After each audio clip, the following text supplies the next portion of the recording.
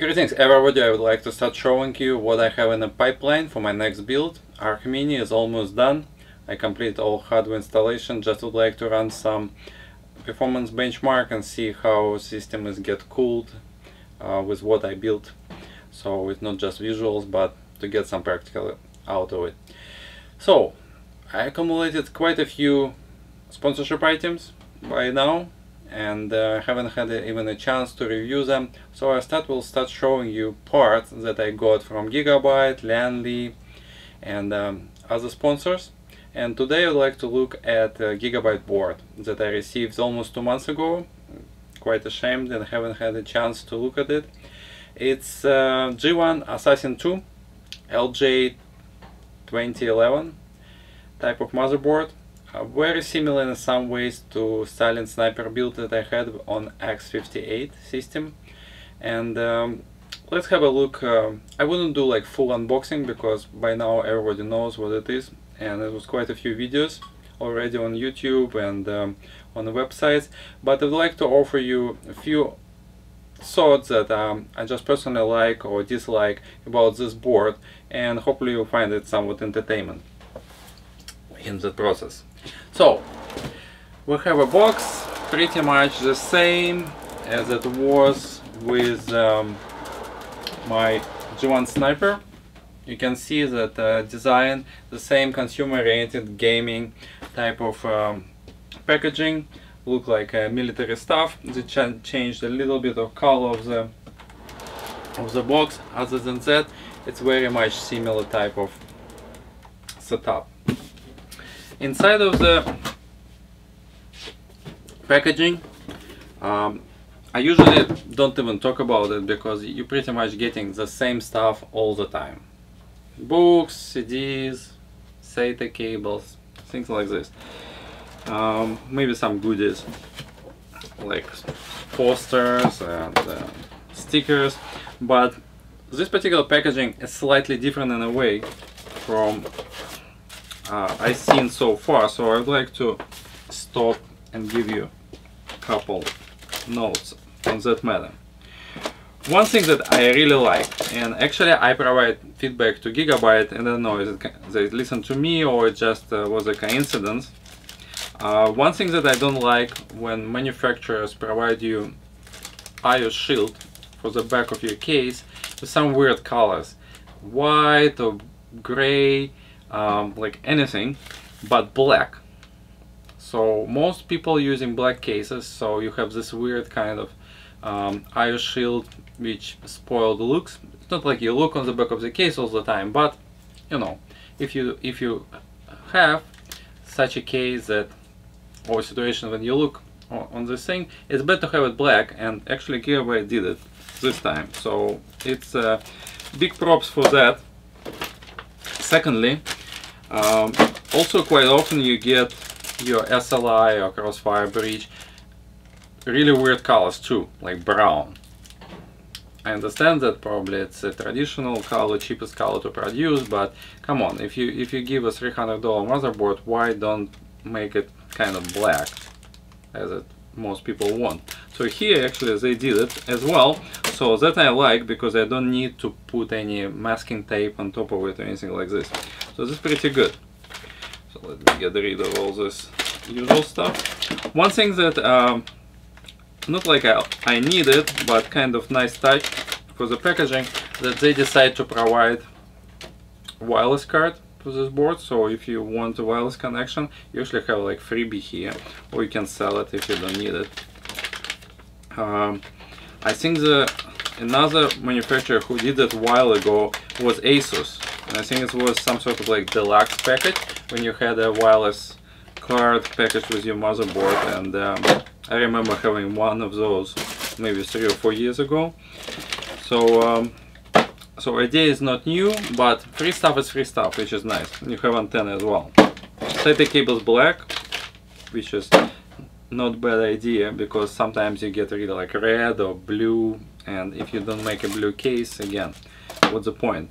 and the last thing that it's it's not new for this package because I already have it with uh, my sniper box I also uh, they provide this uh, SATA 3 uh, kind of bracket that can be uh, put on the front of the case. It's very nice because some cases you have really weird kind of placement for um, your USB USB cables. I think I said SATA before, but never mind.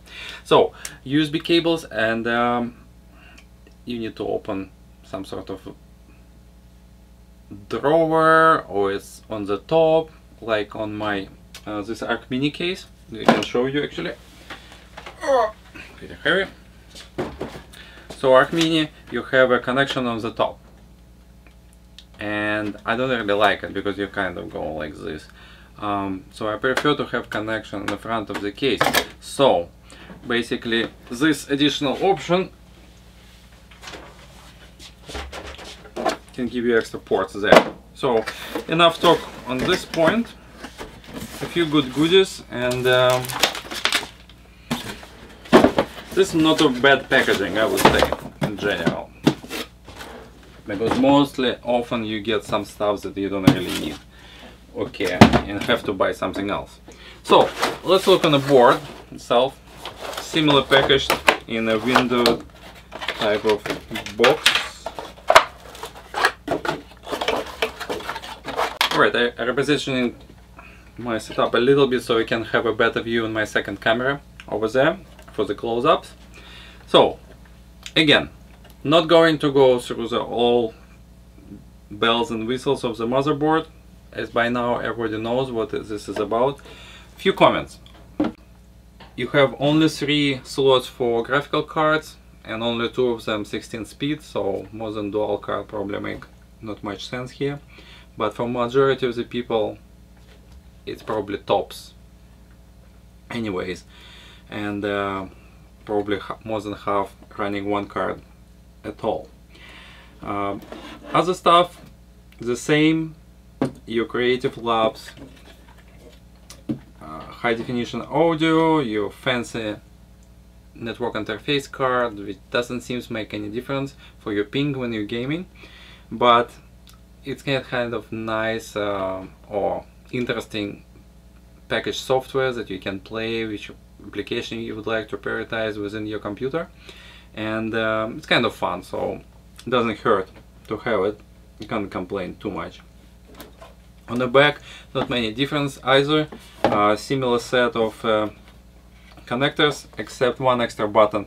With um, Sniper one, I have only overclocking button. That's it.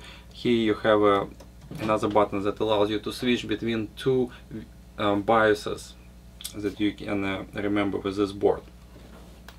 One thing that I would like to kind of make a little around here, if you remember, I said that Sniper with this uh, rounds clip heatsink it's kind of cheesy, but if people like it, fine. And, but I'm not sure if it will work well. And you know, guess what? It actually doesn't work well. Uh, my board is so damn hot that when I touch it with my hand, when I, let's say, rendering a video or do some other heavy task on my computer, you can burn your fingers, literally. So what I did, I actually took few heat sinks from really old server and um, I put them right on this um, toy uh, heat thingy and actually it started giving me a little bit better result because I started get some heat dissipation. I hope that X79 kind of give you a little bit uh, lower heat output but again I'm pretty sure that this pistol maybe get a, some people are really excited and uh, train this kind of feel, but as a heat sinks, it's really junk. Um, anyways, I think on the other side it might sparkle. People who want to water cool to put um, cover blocks on this motherboard for additional fun. So it's kind of additional incentive to run it. As a board potentially can run pretty hot other than that, I would like to talk to you only about water cooling aspect of this board. First of all, just speaking about X79 board in general. So what we have here is a totally new layout. We used to have CPU in one area, memory banks on a, on a side. Right now, with all boards you, we have, you have a CPU in the middle and you have two banks on the side. This board actually have only two pairs of memory stick on each side so it's uh, not as cool maybe from my perspective because if I want to use computer for again for video rendering or something like this I prefer to have a little bit more memory. So four banks on each side would be more preferable but again for majority of people probably it doesn't really matter. Four will do. But anyways what I'm going to, to tell you is that this kind of layout actually spells extra expense for water cooling enthusiasts. Why? Because cost of the blocks more or less the same. If you notice that block for RAM for six sticks is just a few bucks more expensive than four sticks or even two sticks. So basically, if you used to need to spend maybe about $60 to water cool your six memory modules or four memory modules, now you have to have two slightly less expensive blocks, which will cost you probably 50 each or even 40 each. But again, it's more money. Secondly, the location of all those blocks, if you decide to go water cooling with memory, is really close. So you have a CPU block in the middle and two blocks very close with total of six inlet outlets. And speaking from experience, anything that's very cramped and little space is always big pain because it's difficult to level them up first of all because CPU probably will be lower when the memory sticks will be higher with block. So you will need to go kind of down then go up and all the zigzag kind of connections that you need to figure out it's absolutely not obvious. I'm pretty sure some people already solved this puzzle but this is a kind of additional difficulties that you have to deal when you go for X79 um, platform altogether and speaking about overheating motherboard potentially if you will add MOSFET block and your Southbridge block on the bottom that will give you another four connections and then I think the entire water cooled board will might look pretty messy. Um, the board blocks are not available at this point so it's not an issue. And not everybody water cooling RAMs sticks but if you do it can be quite complicated. Another thing that I'd like to mention specifically for water cooling if you use dual GPU type of setup on this board your slots is first and third. So you basically have 16 slots you will skipping few slots down so uh, in a way it's easier.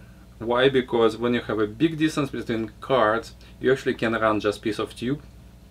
And it's um, can be much cheaper proposition or it might look better uh, if you're just using fitting in tube.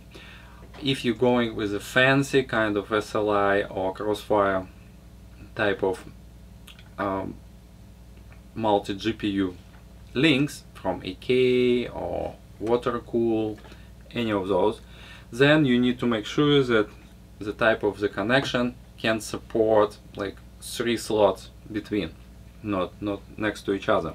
So maybe not obvious right away, but that's something that you need to keep in mind when you build it up. So far, the few items that I also a little bit missing since my orange build. Unfortunately, no power button on the motherboard at all. Uh, no buttons to overclock it, only one on the bottom. So it's not really overclocking board, it's more like a, I guess, a gaming board. Uh, but um, could be nice to have it. But it's not part of this specific board. If you want something like this, I probably need to go UD7 which is another board by Gigabyte with orange color and it's more oriented on overclockers needs. That's pretty much it. Enough talking about this board. Just looking forward to get going. I already have my CPU purchased for this card, uh, for this for this board, and also have a two GTX 680 coming in. I haven't decided which kind of blocks I will be using, either AK or Koolance. Uh, because of the just easy availability and um, I will show you in next video about this new build what kind of case I probably will plan to use it and this is sponsored by Lian Li quite unusual thing so I'm not sure how it will turn out but we'll, we'll, we'll decide on that later so thank you very much for watching that was a video review of Gigabyte G1 Killer X79 motherboard and I hope you enjoyed. it. Thank you very much. See you soon.